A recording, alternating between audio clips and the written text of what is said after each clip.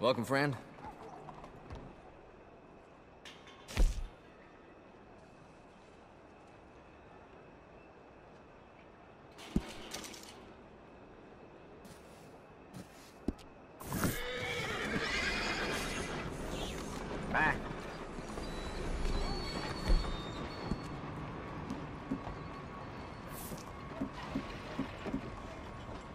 Folk nowadays ain't no shame.